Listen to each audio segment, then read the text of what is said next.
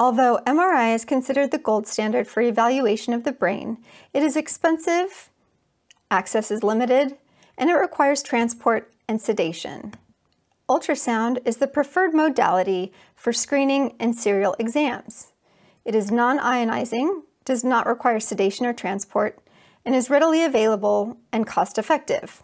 Indications include prematurity or very low birth weight, low or dropping hematocrit, traumatic birth or suspected asphyxia, congenital anomalies, and neonates who may be candidates for ECMO, which is a form of heart-lung bypass. Here are some of the symptoms that suggest an emergent cranial ultrasound should be done. Irritability, suspected seizures, or other central nervous system irregularity.